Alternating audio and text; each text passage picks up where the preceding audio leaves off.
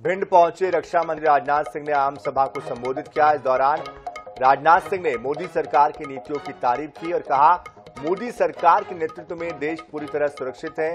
India गठबंधन पर भी वो हमलावर है। वर्षों के अंदर ही हमारी सरकार ने मोदी जी के नेतृत्व में करिश्मा कर दिया कि हमारा भारत ग्यारहवें स्थान से जंप लेकर आज दुनिया के पाँचवें स्थान यकीन रखना, मैं भी नहीं कह रहा दुनिया की मानी जाती फाइनेंशियल फर्म बारबरा स्टेनले ने भी कहा वह दिन दूर नहीं है।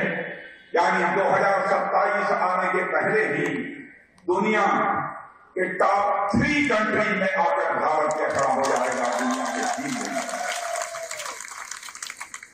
यानी एक अमेरिका होगा, एक चीन होगा, तीसरा नाम यदि होगा तो भारत। यह दो हज़ार तेईस चल रहा है दो हज़ार छब्बीस समाप्त होते होते दो हज़ार सत्ताईस आते आते दुनिया के टॉप थ्री कंट्रीज़ में हमारे देश की अर्थव्यवस्था के आकार बन जाए